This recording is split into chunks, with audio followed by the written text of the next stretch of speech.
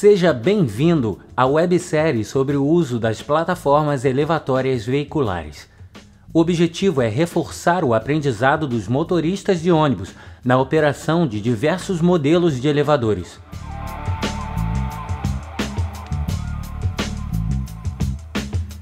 Os elevadores de acessibilidade são úteis para auxiliar passageiros cadeirantes e com dificuldades de locomoção.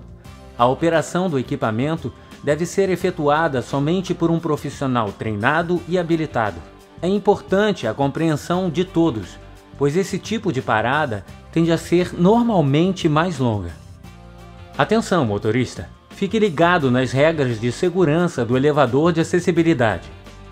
Antes de qualquer procedimento, o motorista deve estacionar o ônibus em local adequado para o embarque e desembarque seguro do passageiro, deixar o veículo ligado, ligar o pisca-alerta, ficar do lado de fora do ônibus, mantendo uma certa distância do equipamento durante a operação.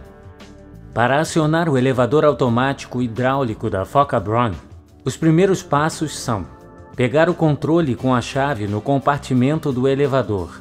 Em seguida, descer do ônibus. Gire a chave para a posição liga.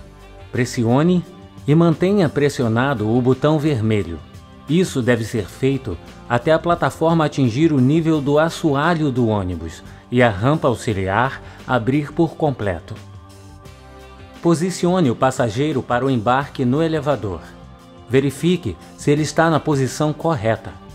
No atendimento ao cadeirante, a cadeira de rodas deve ficar voltada para fora do ônibus.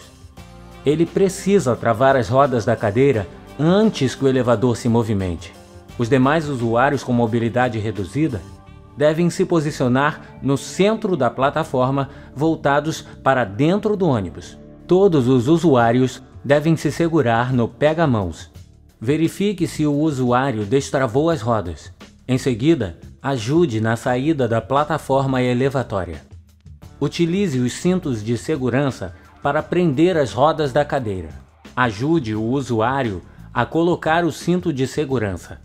Pressione e mantenha pressionado o botão verde para que a plataforma desça até o nível do chão. Após a saída do usuário, comande a subida do elevador mantendo pressionado o botão vermelho até que o equipamento alcance o nível do assoalho do carro.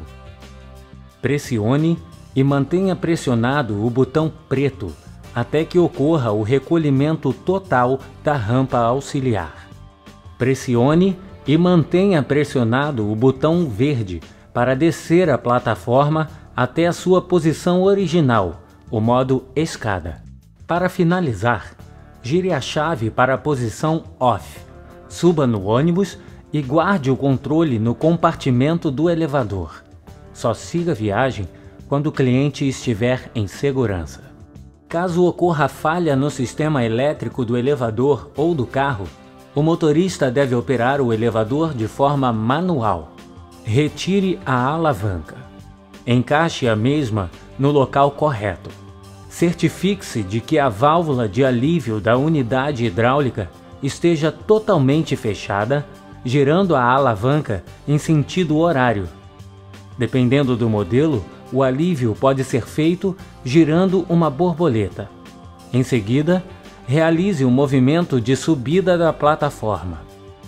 Abra a válvula de alívio da unidade hidráulica para realizar o movimento de descida da plataforma. Após o processo, verifique se a válvula está totalmente fechada.